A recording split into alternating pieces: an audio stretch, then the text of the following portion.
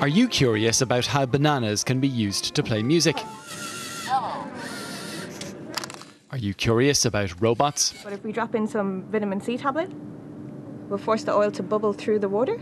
Are you curious about how to make a simple lava lamp? Become a scientist when you leave school. Then the Festival of Curiosity is for you. There's one message going out, Will, that science is great. That's the message, really, and to get more and more young people interested in science. And everybody's curious about everything, you know, and that's a way to reflect that, I guess, and inspire people.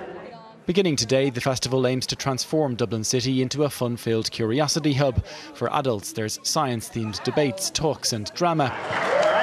For children and families, a curiosity carnival, a treasure hunt, workshops, and the Maker Faire at Trinity College, where enthusiasts will showcase their homemade experiments.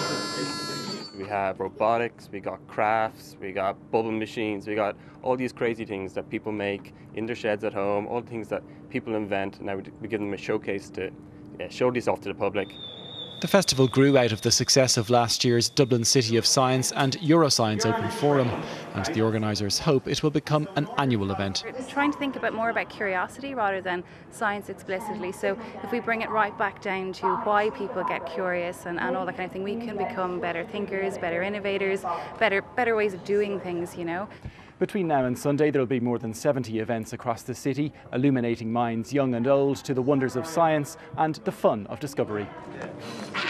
Full details are available at festivalofcuriosity.ie.